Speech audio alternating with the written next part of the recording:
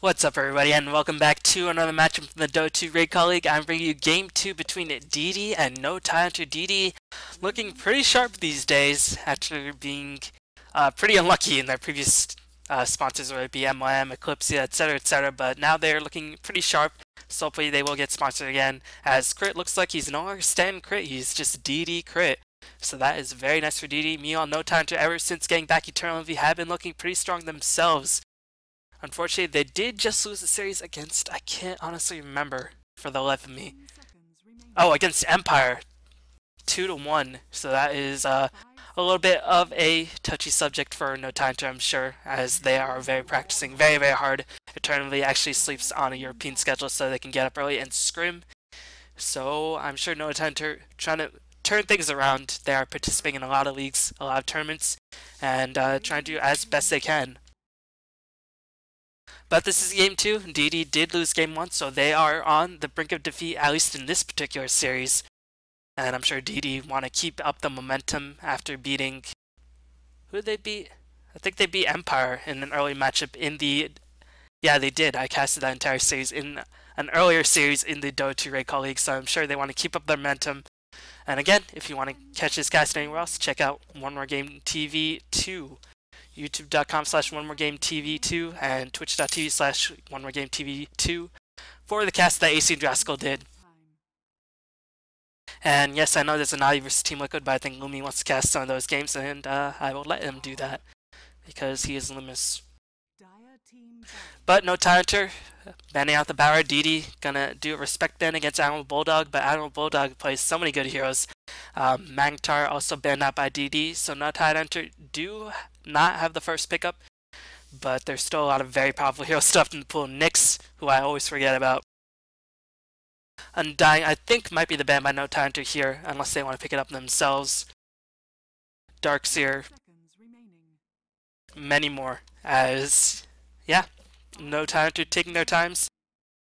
I'm sure they're discussing what roles, what picks, what they're thinking what DD might choose with their first option. DD, of course, do have the first pick, so I imagine they'll pick up something like a Darkseer if they manage to get their hands on it. And we'll see what kind of lineup DD decides to go for. I know No Tidehunter really like picking pretty much five semi-carries, whether it be support Sand, support Gyro, and just sort of uh, roaming with two of the supports and then just uh, winning with an immensely farm Loda, but No Tidehunter gonna bat the Wisp, so DD, I imagine gonna choose the Darkseer right now. Or Undying could be a potential pickup right here, but I think Undying might be a little bit overrated. I don't know, that's just my gut opinion. Maybe I'm just uh, a little bit jelly that Undying is now top tier, and I can't be hipster saying, oh, I was playing Undying before all you guys played Undying. The Dota hipster. I was playing Barret and Undying before it, he was top tier. What are these scrubs doing? Ten seconds remaining. But still, you gotta take a bit of time. I think Darkseer probably a strong choice here, unless they go for Undying. Uh, yeah. what else can I say? All know Tidehunter, I'm sure, trying to think of how they can possibly fit five carries in the lot. but DD gonna choose the Nyx right here instead of the Darkseer, so gonna leave No Tidehunter with the option of picking Darkseer and dying, or No Tidehunter could potentially go for their five semi-carry strat with two of those semi-carries roaming, whether it be a support Sven, support Gyro, or some other crazy combination that Eternal Envy has concocted. But I'm sure they want to secure one of their heroes for Admiral Bulldog right here, whether it be a Bounty Hunter, Darkseer, etc., etc and DD on the Radiant side, No Tidehunter on the Dire side, so it's a little bit more tricky for Undying to get as much experience because it's a lot more easy for him to get some creeps by pulling the rain creeps to the dire neutral camp rather than the other way around. But still, no Tidehunter taking a lot of time. And of course that's if Undying is in the offlane position at all. But I'm sure they want to try to secure themselves a mid-soul for S4 as well. S4 has really come into his own as a really strong player. It's been said if you give S4 Batrider, you pretty much are done. So that's why Batrider is such a high priority pickup for No Tidehunter. But it is going to be a Bounty Hunter for Bulldog and a Luna for Loda. So two of their most popular heroes already picked up right now. And we'll see how DD decides to counteract these measures. They have a extremely strong support in the form of that Nyx Assassin. Of course, Assassin and Bounty Hunter pretty much brothers in arms, but will be deadly enemies in this game. So DD, how will they surround the Nyx Assassin pick? I imagine they might try to use a midsole here because it's not really worth uh, banning out Bulldog here when he's already going to play the the Bounty Hunter. And I'm sure No Tide probably going to choose S4's hero next. If they don't, I'd be a little bit confused. But again, though Bounty Hunter and Luna, strong heroes, but not really band material these days. Know, Nyx, Darkseer, Undying for the 80th times. Pretty much seen as much higher caliber picks these days. And DD still need their offlane hero, so those heroes could be strong pickups for them. But again, I think it might be wise for DD to snatch up a mid solo before no Tidehunter start banning out mid solos altogether. Or no Tidehunter probably just going to bet out carries that they really don't like Loda facing up against. But DD going to pick up a very early Nature's Prophet. Really interesting. I don't honestly think No Tidehunter would have banned it. But Nature's Prophet is still a very powerful hero. The problem is he takes a little bit too long to get going. And uh, unfortunately he gets pressured very easily. And DD to immediately surrender with Leshrac. Man, is this two months ago? As no, or is this TI2 days? Because these picks are very popular in TI2, but really have not been seeing as much attention these days. But this does indicate that DD might go for a bit of aggressive pushing strategy, and now how will No Tidehunter react because they do like to dual roam, but dual roaming up against a Leshrac, not really the best idea because Leshrac can just throw on so much damage in the early game. And No Tidehunter gonna pick up the Rubik, so picking up Rubik pretty high, and that does leave that does mean that S4's hero most likely is still left in the pool, so we'll see if DD starts banning out potential midsoles. But DD starts pick up a mid solo themselves, but they do have the first pickup after the ban phase. So it's going to be an interesting second ban phase as both heroes trying to vie for positioning. I'm sure uh, Keeper Light will be a ban by DD, I imagine.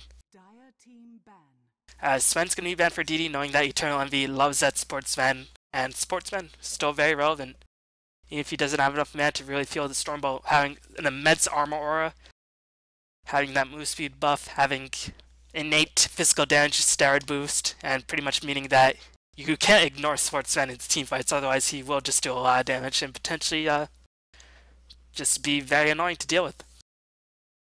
So DD gonna remove that factor out of the equation entirely. We'll see if they remove Akke's support Gyrocopter as well, but considering that one support has already been chosen by No Hunter, might be a bit of overkill for D to remove that gyrocopter as well. But Node Hunter taking a lot of time dipping into a bit of the reserve time to think about the bans. As pretty surprising that Kibula has not yet been picked or banned thus far, but no, Undying is going to be choice here, so no Tidehunter trying to seal up the lanes. I think Nyx Lesh. Hmm. Will they run a mid solo Lesh or an offlane Nature's Prophet? And that's really the decision here. They could do a Jungle Nature's Prophet so he can get a lot more um, safe farm, even if he doesn't get as many potential levels. Or they could do a mid-soul Leshrac. I think it might be a mid-soul Leshrac, or they could even do dual lane mids. DD has a really, really versatile lineup thus far, but it might be a little bit too awkward, as it's not really standard these days, but still does have a lot of potential, so No Hunter might anticipate D running that Leshrac in mid lane. That's why they ban out the Undying so that the tri lane, whoever gets matched up against the tri lane of Nyx, Undying, and whoever else is in that tri lane would just be miserable up against that. But DD gonna ban out the Templar Assassin, removing one of S4's mid-solo heroes. We'll see if Queen of Pain, Darkseer gets removed shortly after. But Darkseer neither picked or banned thus far. Really interesting because Darkseer fade out a little bit in terms of winning percentage, even if he hadn't fade out in terms of pick status, but now he has bounced back in a hard way, and there goes the Dark Darkseer ban, trying to really remove all of No Tidehunter his mid-solo heroes that S4 could potentially play, and No Tidehunter uh, helping them, helping out DD a little bit by banning out the Broodmaster and the Batrider. But still, I mean, no Hunter could potentially run a dual lane mid, but honestly I haven't seen S4 run a dual lane mid. S4 really competent mid soul. But honestly, I have just not seen him in too many games as a dual lane mid. I'm sure you can do that fantastically as well if you had to. But still. So who are other potential mids? Queen of Pain is still in the pool. We'll see if DD decides to choose it up. Um, but I think at this point they might go with the mid solo Leshrac. Really difficult again just to predict the lanes just by these first couple picks and bans. But No Hunter really taking a lot of time considering all the viable options taking every game very seriously. They're going to be about the Lifestealer, so Lifestealer, uh, very powerful carry up against Luna because of that Rage no neutralizing a lot of the Eclipse damage, and Beastmaster is going to be choice for DD. What is this lineup? Really strange pushing lineup. So the Inner Beast, the Nature's Prophet, Treants, but not really the standard pushing lineup by DD that you'd normally expect. Meanwhile, No Tidehunter, will they snap the Queen of Pain for S4? Or will they go a bit more aggressive? They might want to get a secondary ganker for Bounty Hunter, whether it be something like... I think Night Stalker would be a solid choice, because everybody on DD, for the most part, is pretty squishy. Nature's Prophet, Leshrac, even Beastmaster can't really slow down the assault of Night Stalker once uh, Roar is on cooldown. So I think Night Stalker in conjunction with the Bounty Hunter could just give DD fits of trouble. And really secure Loda a lot of firing space on that Luna. But again, wouldn't be too surprised if Gyrocopter was picked up here for Akke. and no Tidehunter really taking a lot of time, and there's the Night Stalker, so yeah, I think this is a really great choice. Once the Bounty hits level 6, once the Night Stalker hits that first night, they'll just be able to gank all over the map, and really just give DD a load of trouble, because, again, they're not really the most tanky heroes, and all their spells, all these heroes on the side of DD do want a bit of experience in order to combat these really, really terrifying Genki duo of Night Stalker Bounty Hunter. Even if there is no Invisibros on side No Tidehunter, I mean, Night Stalker Bounty Hunter pretty much almost as good. So how will DD combat this? They still need their late game carry, and it'll have to be pushing oriented, I imagine, because or something that synergizes well with the Beastmaster, and they're gonna pick up the Juggernaut, and this is pretty awesome lab, not gonna lie. I mean, it doesn't look too out of the ordinary, but these days, heroes like Nature's Prophet, Leshrac, Beastmaster are not really seen too often in the Western scene, and even Juggernaut has really fallen out of favor. The Juggernaut Healing Ward, and he does benefit decently from the Beastmaster aura, but the Healing Ward is really what's going to sustain DD's push. So it's going to be push versus gank. And we'll see how No Tidehunter has, decides to adapt to this. But meanwhile, we know DD's strategy is going to be to push. But how will DD lane it? It's going to be Nyx supporting Juggernaut. DD on the range side, so it's a little bit more tricky for Beastmaster because he can't really have easy access to stacking the Ancients with the Wild Axes as he could if he was on the Dire side. So could potentially see a mid-solo Beastmaster, but we are going to see a Gyrocopter for Akke, I imagine, so already, really, really awesome game, just from the picks. Well, not awesome, just uh, hopefully it'll be an exciting game. Hopefully we'll see a lot of ganking actions and just uh, chaos all over the map. And again, uh, Dota 1 replays have been released, speaking of chaos, because Pino Dota all about that chaos. Dota 1 replays are starting to be released a bit more frequently with a lot of Burmese Dota, and I probably won't cast all of them. I'll probably cast one or two. And I'll probably only cast heroes that are not in Dota 2. But even heroes like Silencer Drow or not in competitive Dota 2, I might cast just see how they might fare in the Dota 2 competitive scene. Because uh, casting heroes like uh, Magnus the Darkseer Bat in Dota 1 really just not interesting to me. It's really just a lot more interesting to see how heroes like Drow, Silencer, Skywrath, uh, Legion Commander, if he ever gets picked, which I really doubt, would be chosen or would be uh, picked that's what interests me in Dota 1 still. But we'll go over the players and the teams. As we're going to see DD on the rank, we're going to have Ryze play the Leshrac. Already has Observer Wards in his pocket with the Clarity. So it's not going to be mid-solo jacket, It is going to be a support left jacket, It's going to be Calculus. Probably offlane Nature's Prophet as he's going to pick up two tangos. Actually, I think DD might just abandon the offlane altogether. Crit is going to be playing the Beastmaster. He's going to go mid with the fast ball rush up against the Night Stalker. Link is going to be playing the Juggernaut, picking up an early Ring of Protection. Might be for Tranquilus, might be for Basilius to get the push going. I imagine it's going to be Basilius to help accelerate the push. And we're going to have Sakshika playing the Nyx Assassin, already has Smoke of Deceit, and Sentry Wards to spot out any potential Observer Wards that do anticipate the Smoke of Deceit. Meanwhile, on the side of No Tidehunter, we're going to have Akke playing the Gyrocopter. I think he bought the Courier, maybe even bought the Wards as well as he does not have too much money left in the, bank. in the bank. Eternal Envy, man, No Tidehunter, I think they're spending so much money on Wards. They have Observe Wards and Sentry Wards on Eternal Envy, and Eternal Envy is essentially broke. Bulldog has a poor man shield. No, they just gave a lot of their regen to Bulldog with that poor man shield as highest net worth bounty hunter. Checking out the net worth right now. Uh, 565. But again, Portman, Shield, Salve, and Tango and a Clarity wouldn't be able to pick this up. But Bulldog's going to be playing the Bounty Hunter. Loda is actually going to go mid-so or just middle with that Luna. Probably going to be helped out by Envy or Akke as they see fit. And it's going to be S4 playing the top lane with that Night Stalker.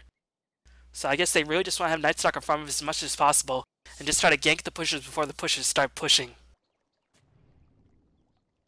And it's interesting, trading up farm for experience for the Night Stalker, because some of the experience will be sucked up by Akke, I imagine. And uh, Loda, I'm sure, going to have a bit of help.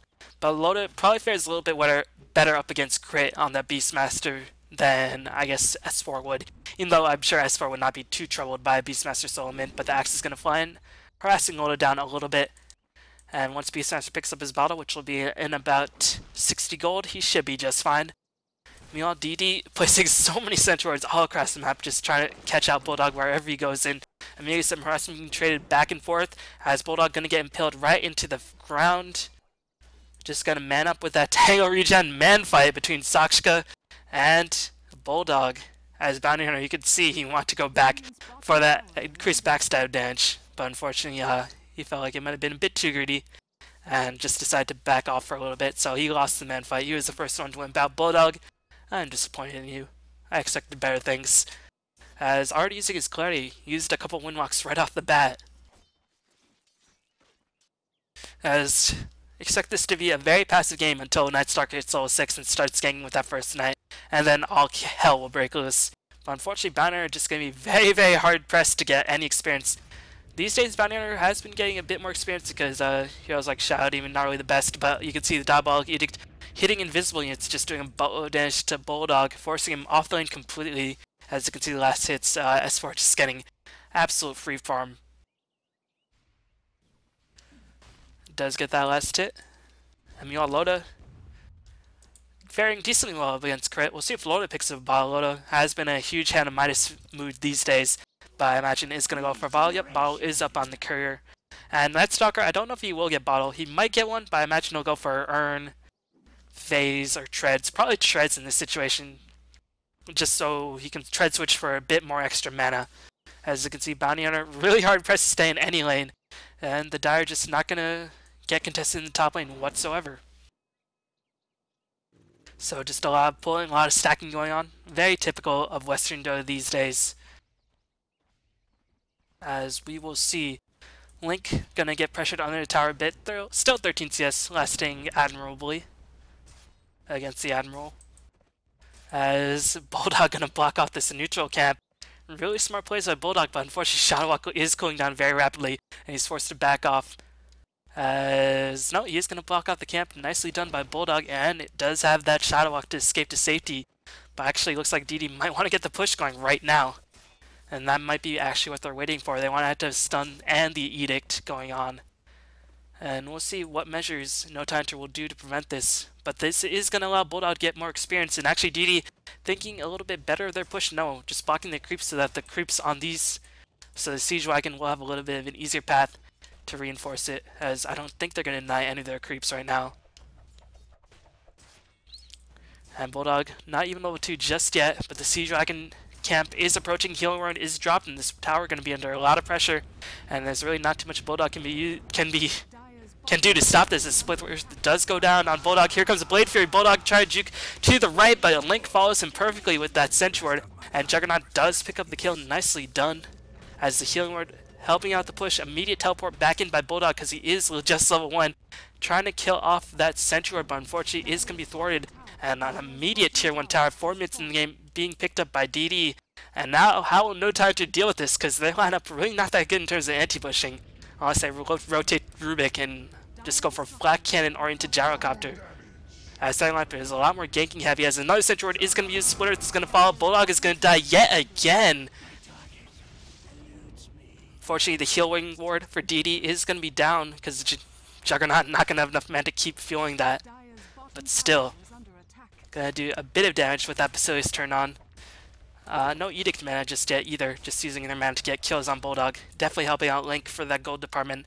And we'll see what item Link goes for, whether it be Aquila. As you can see, Link just going to absorb some of the damage and wants to keep up that Siege Wagon. Really smart place by DD, as he wants to keep that Siege Wagon alive so I can keep doing additional damage and Ryze positioning himself just outside the tower range. Bulldog gonna soak up a bit of that Edict damage. Really smart plays by both sides as they're really making really smart decisions because Bulldog knowing that Ryze is positioning himself so that the Edict will only hit the tower, not hit any creeps. But Bulldog doesn't want his tower to die, so he actually soaked up a couple of the hits of the Edict himself and just uh, went back on the offensive. For really smart plays on both sides. But the tower is going to be safe for now. You're not in deny range. And Link, I imagine, wants to get the healing ward. I imagine he'll use the healing ward rather than the Blade Fury, unless they can get for sure kill on Bulldog, which they might be able to do very, very soon. Envy, level 4, Akke level 5. Actually, Akke is getting a lot of experience thus far, and his Bulldog is going to get trapped yet again. Calculus does teleport in, and is going to pick up a kill, and the tower is going to be claimed by DD without too much rebuttal by No Tide. And if I were DD, I'd just stay together, play 5-man Dota up against a Night Stalker, because Night is going to have absolute free farm, and First Night has hit. As I did almost a Porky the Pig impression, just saying abs, abs, abs, absolutely free farm. But Loda is going to pick up Invisibility Rune, and DD just going to back off. I really was hoping that DD would just continue the pressure, but now Night Stalker, it is First Night, it is his time to shine, saving up those skill points. And now they're going to try to claim the tier 1 tower themselves, and I don't know if DD can actually defend this. Looks like they're not even bothering to do so. Crit wants to sort of protect it, but really can't really fight up against S4, Akke, and Envy. As imagine imagine Akke is just saving that extra skill point, has 3 points in the Rocket Barrage. Axe is going to fly in, S4 not going to dive, but still they're going to claim the tier 1 tower nonetheless on the top lane. Meanwhile, what's Loda doing? He has an invisibility ring. Looks like Loda, for once in his life, to kill heroes rather than creeps. Gonna wrap around, trying to pick up a kill on somebody. He's gonna find a wild Ryze in the Force, and Ryze gonna die in three hits of that Eclipse. Nicely done by Loda, saying, I'll get these hero kills as the missile's gonna fly in for Crit. Here comes the Rocket Barrage. Shortly after, can Crit escape? Crit will escape successfully. It looks like S4 took a little bit too much damage and was unable to get the dive going. Roar was used on S4, I do believe to really mitigate a lot of S4's pursuit. And that is going to help save the life of Crit in this engagement. You know, what's Calculus doing? He's just sort of chilling out. Gonna go for that Midas build. I'd rather Calculus try to go for straight up Necrobook, but I can sort of see where he's coming from. Wants to get that Nature's Prophet going, and get that experience going as well. Still, Necrobook, I feel like very strong pushing on him, and I think No Tidehunter do have the advantage in the late game. I mean, it's very difficult to say that they don't. They have Gyrocopter, even as the support could potentially do a lot of damage in the late stages of the game. Luna is having uh, a grand old time in that mid lane, as far as having free farm, but still. No Tidehunter. We'll have to be careful because DD do have a slight tower lead, evidenced by the gold graph slightly in favor of the Radiant because of that jungle and because of that tower Uh, as Sashka gonna wrap around there, gonna try to kill off Loda. Loda senses something's up, even if he didn't have a ward.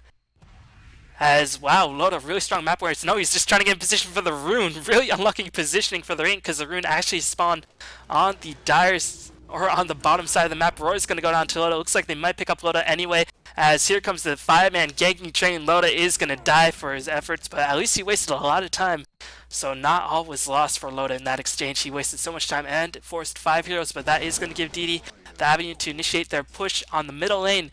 And again, how no Tidehunter react to this? Not too sure as the Edict, a uh, couple of hits were soaked up by the creeps. Only level 4 Leshrac, so that level 5 going to be out of the question. Called on Ridiculous Range, going to do a bunch of damage to the rain creeps and do a significant damage to Sakshka, but the healing we're going to heal back everyone up to near full HP. Link getting a lot of points of the healing rate early on, 2 points. Only level 7, so could only get 2 points if he still want his ultimate and get that max of his nuke. Meanwhile, Envy doing a smart move, just making a massive creep wave, not denying, just going to keep the push going and force the teleport back by Sakshka. And a nice move by DD again. They want Sakshka to hit that level 6. So that's why he's teleporting back rather than somebody like Link or Ryze or anything like that.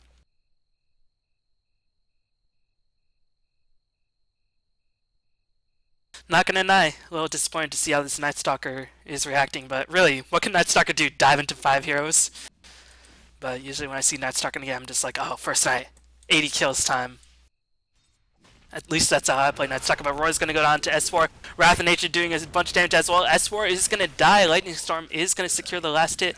So Ryze actually getting one point of Splitter, two points to Lightning rather than third point to Edict. I guess he thinks the push is strong enough regardless. As Bulldog is gonna get the haste and gonna speed on out of there. Bulldog is level 6, so he does have the track online.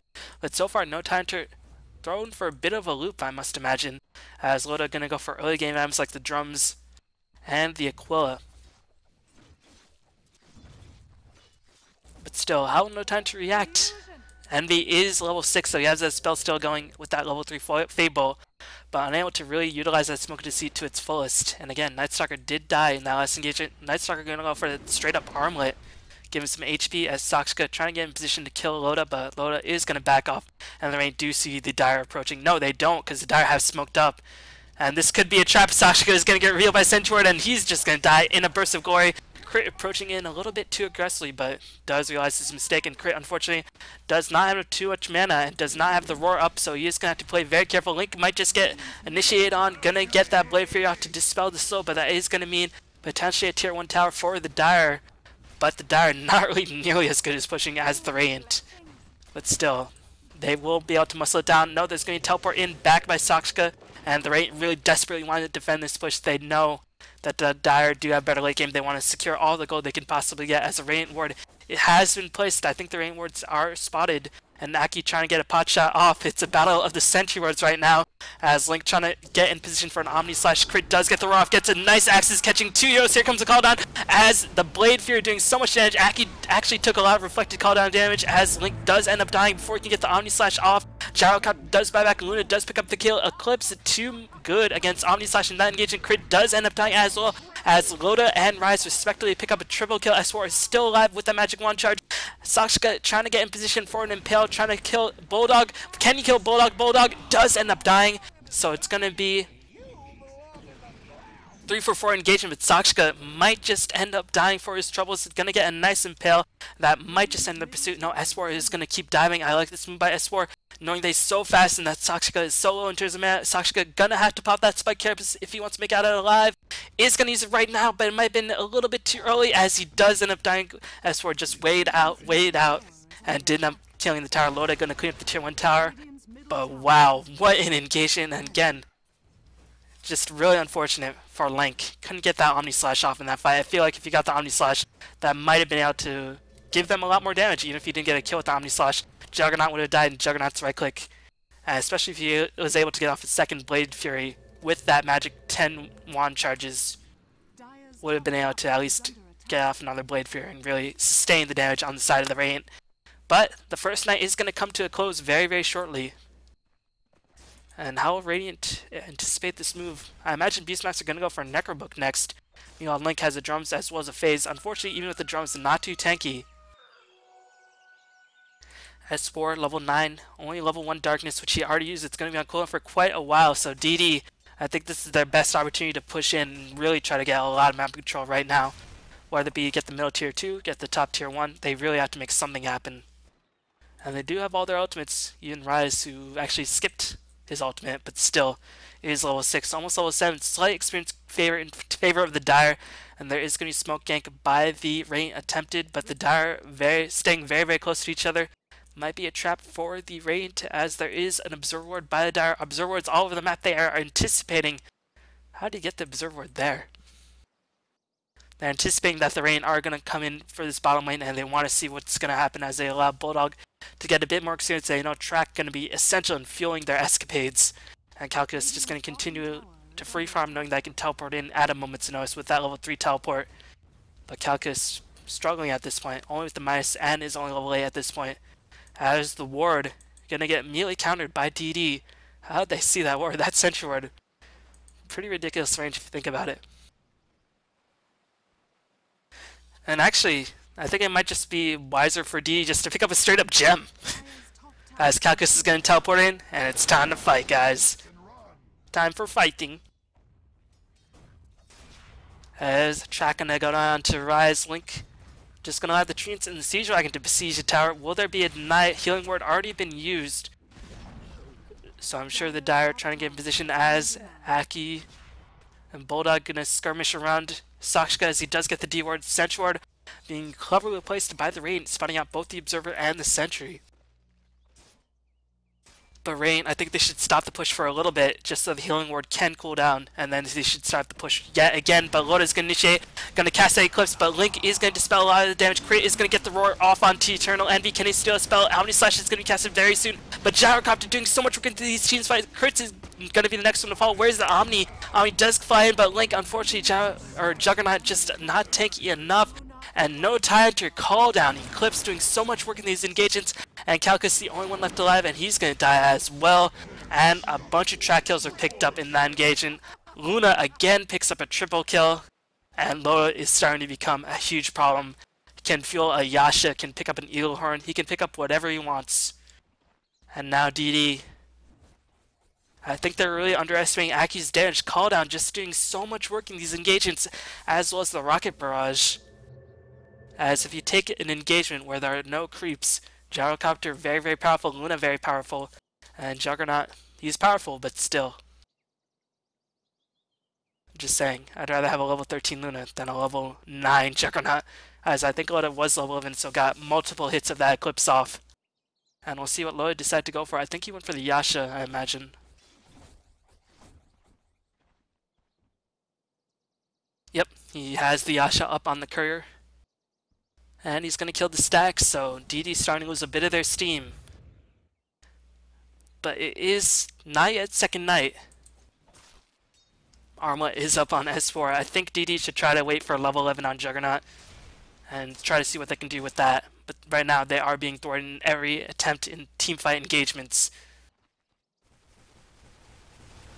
As they have a lot of really strong ganking tools, but their only real AoE is Juggernaut, Blade Fury, which isn't really consistent because you can run away from it. Axes, which isn't really consistent because you can run away from it, and Leshrac, which isn't really consistent because you can run away from with it. You know, no Tidehunter, if they get the call down, if they get Eternal Envy's Fade Bolt, if they get the Eclipse going down, if they get Track with the extra move speed, and TH just has so many chasing mechanisms that can they can easily juke around DD and really make DD's life miserable.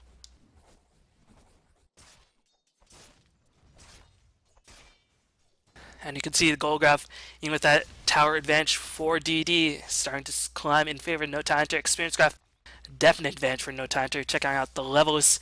You can see, other than Eternal Envy, Loda being level 14, four levels ahead of the highest level on the side of DD, really not speaking well in DD's situation.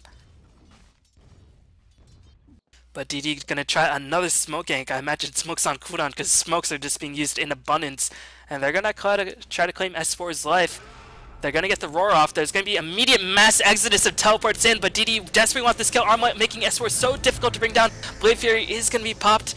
Can DD escape successfully? They don't have the roar. Eclipse is going to use crit dodging so well, but unfortunately you can only dodge for so long. Loda does end up picking up a kill. Darkness is casted because S4 decided to buy back and wants to keep up the pursuit. Sakshka did cast Vendetta, and Sakshka is going to escape one for one. But I swear, did use a buyback, so not the worst engagement for DD. But still. Actually, I mean, they used the Eclipse as well. So really, DD came out in, the, in that engagement all pretty alright, because Calculus uh, continued to farm. What will Calculus go for? Will he go for anything, because it can get wrapped around? And calculus, did he was he watching that Sentry Ward? Because again, minimap. Yes, he was. A nice awareness by calculus, as I imagine he wanted to farm the jungle, but spotted the heroes moving past the Sentry Ward, and just decided to get the heck out of dodge. And keep in mind, tier ones don't have backdoor regen, so the Dodge can just uh, try to man up and try to kill it. But Glyph has been used, and NTH just don't care. They're just going to push in and gonna kill that tower very easily. So right now it is 3 towers for No Tidehunter compared to 3 towers for DD, no 4 towers for DD. But again, a huge experience advantage for No Tidehunter, and they do have the better late game. DD, wonder what their game plan is going to go for, as Juggernaut trying to build his way towards a Manta. Probably the best choice now, but I think uh, even though Aghanims is sort of a joke on Juggernaut, I think in this situation, giving Juggernaut some extra HP uh, and a couple bounces in the early game definitely can't be underestimated. But I might be worried about Rubik's potentially stealing that because Rubik would get the Aghanims upgrade. And Juggernaut still, even if he went for Aghanims, would be very far away. Meow, Loda finished up the Manta style, 200 gold in the bank. Gonna do a bit of damage to Link. Link really can't handle a level 15 Loda while he's only level 11. Forced retreat. And DD's like, oh no, smoke's on cooldown, what do we do? As I just want to see. Nope, can't see. But again, they still have the Roar. They still have very capable ganking lineup, but it is about to hit that second night where Night Stalker does reign supreme. Or At least he should, because this is pretty much his last night to remain super relevant. Because after that, magical damage really doesn't do as much. But Night Stalker didn't really go for a caster build, went for more of a DPS build with an armlet. And know, Luna, Met style drums, gonna go for that point booster. Probably just a casual point booster, I imagine. Won't finish that straight up Aghanims S4. Akke meanwhile has another drums. No Tidehunter duel of their drums. Bulldog trying to find his way towards his own BKB. Even if there is a roar, can just uh, really benefit from that BKB being used. Surprisingly, well, it makes sense, I guess. Not picking up a Ghost Scepter because it's just Juggernaut level 2 ultimate. It's not like Juggernaut level 2 ultimate completely devastates no Hunter, especially if they're all clumped up so that the bounces just transfer from one hero to another. So not too surprising that there's no Ghost Scepter just yet. But whenever I see a Juggernaut in the game, I'm like, oh, enemy team should just pick up 80 Ghost Scepters, but actually there's a lot of magical damage, whether it be in the form of NA or Leshrac.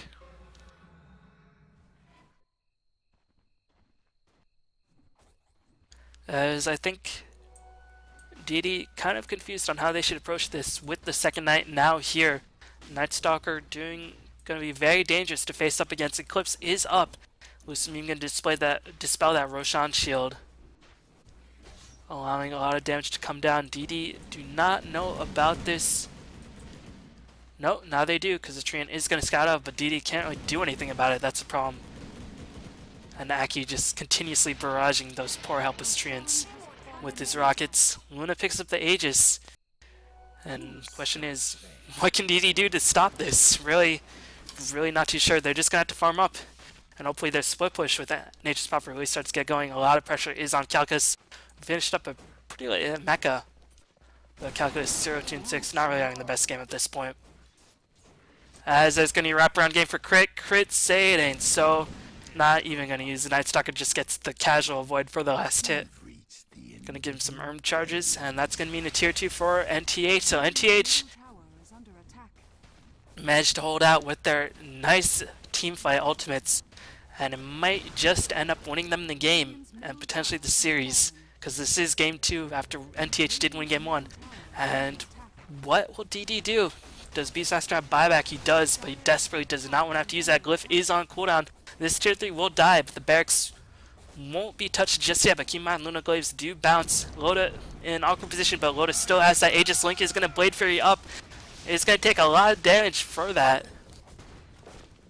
They're going to have to get a Magnificent Healing Ward to really heal up the range you know, going to push the top tier 2, hoping to bait out a teleport, but tier 2 already dead. Joke's on you, Calcus says we're to pop a Night Stalker ultimate there, and then... And DD, they're going to fight, otherwise they're to lose a barracks. They're to lose a barracks. That's their choice. And Crit's to die as well. DD really just have solid pushing, but not really too much team fight, and unfortunately not too much to initiate a fight as Omni Slash is going to go on to Eternal Envy. Loda does pop the Eclipse. Here comes Loda as the bounces do manage to get caught in. Loda does lose his Aegis. And Naki is going to take a bunch of damage from the towers. Loda is going to respawn, going to try to right click. No, going to run away from the Impale. And TH is just like, alright, lost Aegis, lost Eternal Envy. We got the barracks. We got two towers. Let's not play super aggressively. They still have a lot of damage on their side. Actually, Loda gonna turn back around. S4 wants to get into the thick of things. He's gonna get a crippling fear off onto Ryze. So Ryze can't cast anything. Healing Ward is up. Healing Ward not being focused, but it looks like they don't care about the Healing Ward because they're driving everybody away from the Healing Ward. As Loda trying to do his bunch of damage. Ryze is finally able to cast spells. Loda is beyond godlike. Can Loda escape so fast, so furious? Tokyo drifting away. As Link trying to get a kill. Urn gonna be dispelled. Nice right click as Calcus is teleporting in. They do get the roar. They're gonna kill Loda as well. So no Tidehunter do end up losing four heroes in that exchange. Actually ended up losing all six of their heroes at one point. That's this fucking bugged. What?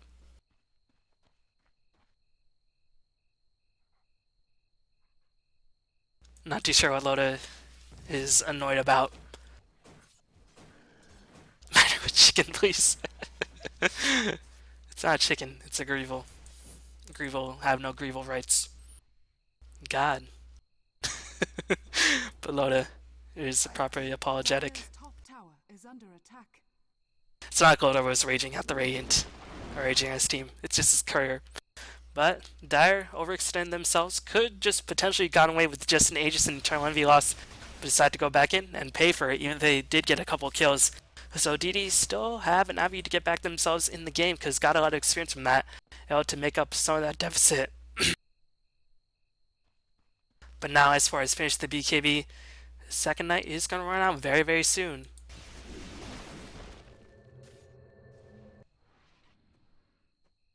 Or no, Hmm. I thought it was second night for a while. Might have been mistaken. But second night is still gonna go on. It's third night. I'm not too sure. Eternal Envy. Gonna get Omni right in the face. You know, Sprout gonna go on to Akke. Here comes Loda, gonna do a lot of damage to Link. Link can has to get out of there. But Loda has to face Skadi. Loda gonna take a lot of damage. Can Loda escape? Does have Eclipse if he wants to use it? No, he's just gonna run away. Trying to get himself back in the team fight. Does get the Eclipse going off, but no, he's to die for his trouble. He's to get impaled right into the ground. He's to die. And Loda doesn't have buyback. This could be the opportunity that DD was waiting for. Losing only crit in that engagement. Who still had the roar, but DD just to get the creeps going. Creeps, unfortunately, very far away to reinforce that. But still, DD has to try. They're to use the mass amount of treants that Calculus is able to summon, but no healing ward.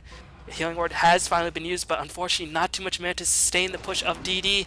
And the Healing Ward constantly going to refill the range gen, but nobody's killing the Healing Ward on the side of the Dire. As we're going to come back in, try and initiate onto Ryze. Healing Ward keeping everybody alive, but again, no mana on the side of DD, but they desperately want to make something happen with Loda being dead.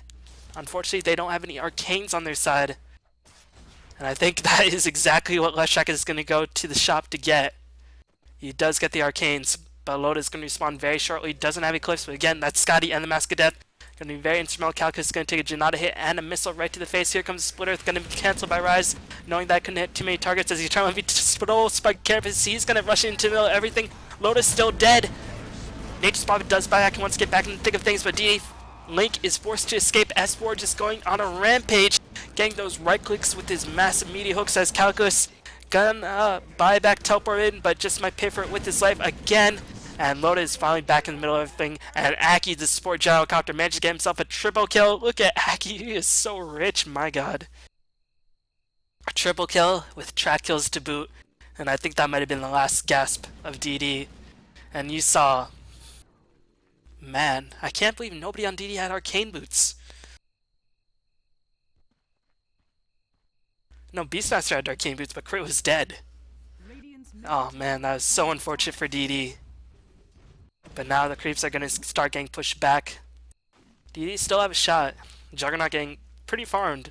But still, I imagine Loda won't make that same mistake. I imagine he's going to go straight for BKB now. No, going to finish up that Helm of Dominator. Makes sense. Get that extra life steal, get that extra armor. They're going to be very useful. But gold graph starting to take a bit of a deciding blow for the Dire breaching that 10k mark, experience graph dipping back below that 10k mark in favor of the dire net worth Loda 5,000 ahead of anybody else on the side of DD. GPM hugely in favor of Loda. Levels, S4 and Loda just dominating the charts. And I think once BKB is finished by Loda, it's going to be incredibly difficult for DD to fight Loda because he's getting disabled by Nyx, Beastmaster Roar, and only the Chain of Souls are really keeping Loda down because they're focusing so much of their mana and their energy on Loda. But I think uh, NTH just going to turtle it out till Loda finishes BKB, and then they're going to try to end it as Calculus going to teleport away. Missile. Proving itself to be a very worthwhile stun. We'll just watch this missile casually run across the battlefield. Oh man, it's speeding up. It's getting hot. It's going in. Sakshaka going to get one hit. Now Missile too fast. Centaur, you can't touch this missile. It is heat seeking. Tower, what are you doing? This is a missile.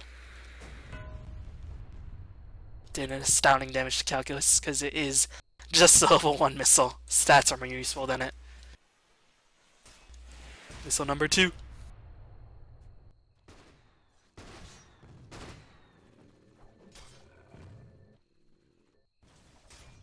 Link trying to finish up his MKB.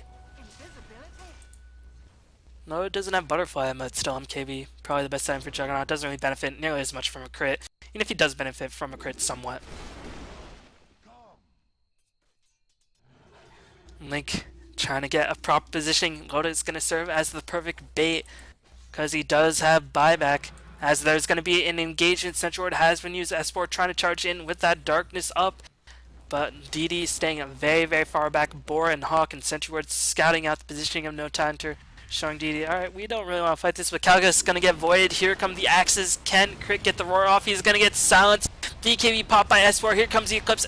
Skadi and Luna your worst nightmare as Eternal Envy dies once again. But unfortunately, Eternal Envy not really able to do too much in these engagements regardless. Calcus is going to die too. The massive slowing glaives by Loda. Godlike dominating. Loda is unstoppable. And GG well played has been called for DD as they had a really awesome strategy, but unfortunately they underestimated the power of Eclipse and they underestimated the power of Call Down. And a couple of crucial engagements, and unfortunately that didn't net them the loss. But really, really entertaining game. Unfortunately, DE probably going to fall to 1 and 1 in the league, I think, uh, in the Dota 2 league after beating Empire. Do end up losing to No Tidehunter 2-0. But that's going to end in this game. Really nicely done by NTH. Uh, moving up to 2 and 1 in this raid called Dota 2 League, or there may they might be 2 and 2, not too sure but still looking pretty sharp ever since Eternal Envy has returned to action after being in China. So thank you for watching, as usual. Again, the casts roll on through one video a day, January.